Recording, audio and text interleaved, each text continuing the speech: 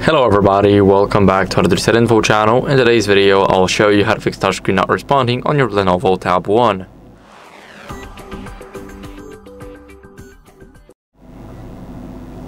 So, what we want to do first is remove the screen protector or a case because it can cause a lot of interference and let me explain why. When you have a case and it's covering the part of the screen, and I'm not talking about the bezels right here, I'm talking about the actual part of the screen that is actually a display. So, you definitely do not want it to touch your screen. So, if that's the case, then remove it. And for the screen protector, let's say if it's misaligned or not aligned properly, if it's poor quality, then we definitely want to remove it too because it can also cause your touchscreen to become less responsive. Now, let's grab a microfiber cloth and everything should be ready. So, we need to grab a microfiber cloth and clean the screen. So don't go too hard on it.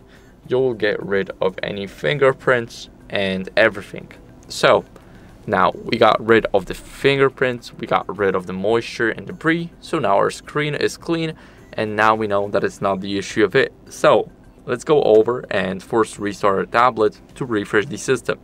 First, hold the power button and right after you see the reboot and the power off, hold the power down.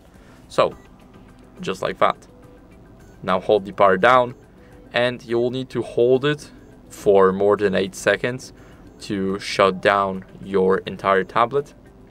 So let me do that again. I accidentally slipped my finger. Let's keep on holding it. And as you guys can see our screen just turned black. We will see the Lenovo logo soon. Now we can let go. And now we just wait for it to turn back on so I'll see you guys in a second. So now after the forced restart what can we do as a last resort? Is update our software because it can fix a lot of our issues including the touchscreen not being responsive. So go over to settings and swipe all the way down until you see about tablet, click on it and go to the system update right here.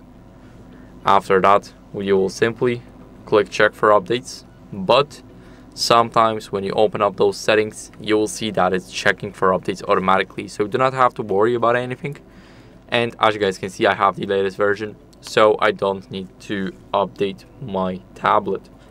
So, if you don't run the latest version, then I recommend you guys to do so because it's very important to have the latest version of your software installed. It can fix a lot of issues, as I've mentioned before, and that's basically it. So I hope this video was helpful. If it was, then leave a like, subscription, and a comment, and I'll see you in the next one.